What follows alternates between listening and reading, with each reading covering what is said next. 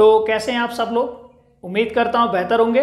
दोस्तों, इस क्वेश्चन में हमको गिवन है the angle of elevation of the top of a tower from a certain point is 30 degree if the observer moves 20 metre towards the tower the angle of the top is increased by 15 degree then हमने find करना है height of the tower तो काफ़ी important question है दोस्त। Term two के exam point of view से देखा जाए। इसलिए मैंने इसको हॉट्स में कवर किया हुआ है। तो चलिए देख लेते हैं इसको कैसे सॉल्व करना है। तो सबसे पहले यहाँ पे हम डायग्राम फॉर्म कर लेंगे। एक बार अगर हमारा डायग्राम बन जाता है तो काफ़ी आसान होता है क्वेश्चन को सॉल्व करना। तो एक टावर है यहाँ पे, सबसे पहले एक टावर फॉर्म कर लेते हैं। एक टावर मैंने यहाँ से वर्टिकली इसको ड्रॉ कर दिया, है ना? ये हो गया हमारा टावर। उसके बाद क्या है, देखो, एक पॉइंट है ग्राउंड पे, जहाँ से हम टावर के टॉप का जो एंगल ऑफ़ एलिवेशन बना रहे हैं वो हमारा बन रहा है थर्टी डिग्री तो यहाँ पे ग्राउंड लेवल ले लेते हैं। टावर के फूट से मैंने इधर ग्राउंड लेवल ले लिया। तो यहाँ कहीं पे बंदा है ऑब्जर्वर तो ये ऑब्जर्वर से जो एंगल के टॉप का टावर के जो टॉप का एंगल बन रहा है ना एंगल ऑफ़ एलिवेशन बेसिकली ये वाला, ये हमारा फॉर्म हो रहा है यहाँ से थर्टी डिग्री उसके बाद क्या हो रहा है दोस्त? जैसे ये ऑब्जर्वर ट्वेंटी मीटर आगे की तरफ़ मूव कर रहा है अभी ऑब्जर्वर यहाँ था, जैसे ये ट्वेंटी मीटर आगे की तरफ़ मूव कर रहा है तो इसका जो एंगल ऑफ़ एलिवेशन है, वो fifteen metre sorry fifteen degree increase हो जा रहा है। तो सपोज़ करो यहाँ से जो एंगल ऑफ़ एलिवेशन बन रहा है इसका, इसको मैं दिखाता हूँ। ओके तो 15 डिग्री इंक्रीज हो रहा है तो ये हो जाएगा 45 तो इसको नेमिंग कर देते हैं, ये हो गया ए ये हो गया बी और ये हो गया हमारा सी है ना? और इसको मैं पकड़ लेता हूँ यहाँ से डी तो कुछ ऐसा हमारा मुकम्मल डायग्राम बनेगा। आई होप आपको डायग्राम पकड़ में आ गया होगा। तो ये वाला एंगल हो जाएगा, देखो यहाँ से हमारा 90 डिग्री ये वर्टिकली है टावर तो अभी क्या करना है इसमें? यहाँ से हम मूव करे थे 20 मीटर जो AD है, वो हमारा 20 मीटर है।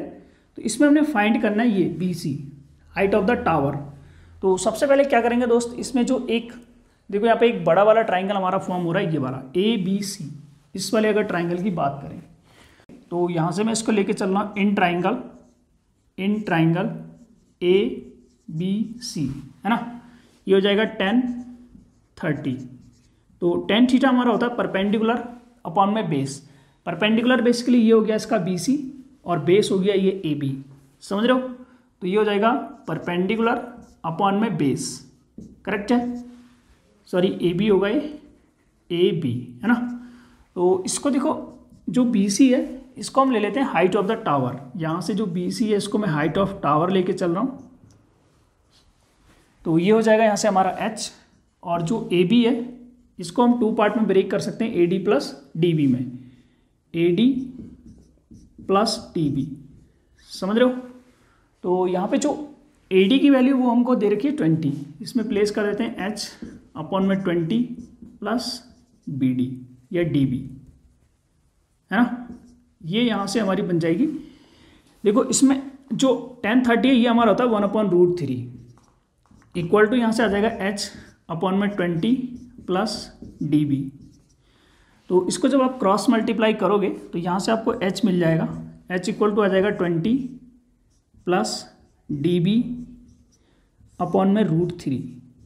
ये आ गई यहाँ से हमारी इक्वेशन नंबर वन समझ रहे हो? आई होप आपको इतना पकड़ में आ गया होगा। तो अभी एक काम और करना यार। अभी तक अगर वीडियो को लाइक नहीं किया तो एक बार वीडियो को लाइक और चैनल को सब्सक्राइब तो बनता ही है। तो जस्ट अब इस वाले ट्राइंगल में लगा देंगे हम। जो ये वाला ट्राइंगल है ना हमारा डी बी सी इसमें हम टेन थीटा अप्लाई करेंगे। तो यहाँ पे मैं लेके चल रहा हूँ in triangle D B C है ना?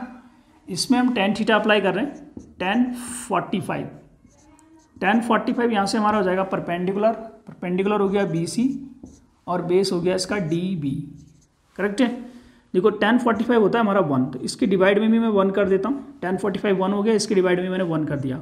अब जो बी सी है ना, वो है हमारा हाइट ऑफ़ द टावर और ये आ जाएगा डी बी तो यहाँ से जो डी बी की वैल्यू है वो एच के इक्वली आ रही है। क्यों? जब भी हमारा एंगल 45 डिग्री होता है तो जो परपेंडिकुलर और बेस होगा परपेंडिकुलर और बेस दोनों क्या होंगे? इक्वल होंगे हमारे यहाँ पे। ये आ गया इक्वेशन नंबर टू। अभी जस्ट क्या करना है, ये जो डीबी की वैल्यू आई है ना डीबी की वैल्यू हमारी एच के इक्वल है, इसको उठा के हम क्या करेंगे इक्वेशन वन में पटक देंगे, हमारा काम बन जाएगा।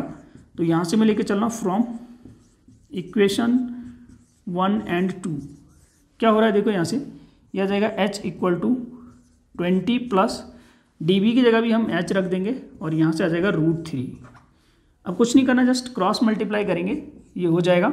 यहाँ से आ रहा है। Root three H equal to twenty plus H समझ रहे हो? तो इस एच को इधर पहुँचा दो। ये हो जाएगा root three plus H root three H minus होगा सॉरी ये।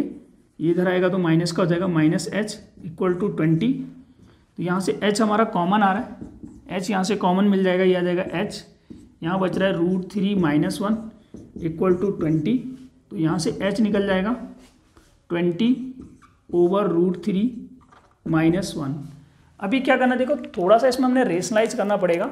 रेशनलाइज के लिए क्या करेंगे? इसमें हम मल्टीप्लाई कर देंगे रूट थ्री प्लस वन से नोमरेटर और डिनोमिनेटर में। तो यहाँ से हमको मिल जाएगा। ये ए माइनस बी और ए प्लस बी की फॉर्म में आ रहा है।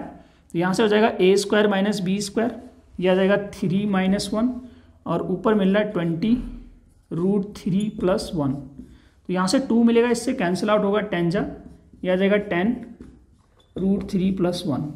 इसको थोड़ा सा अगर आप और सिंप्लीफाई करना चाहो, रूट थ्री को हम लिख सकते हैं one point seven three plus one और इंटू टेन। तो ये आ जाएगा ten into two point seven three, यहाँ से आपको मिल जाएगा twenty seven point three metre. यही हमारी क्या होगी हाइट ऑफ़ द टावर तो आई होप दोस्त आपको क्वेश्चन पकड़ में आ गया होगा। तो मिलते हैं दोस्त नेक्स्ट क्वेश्चन में।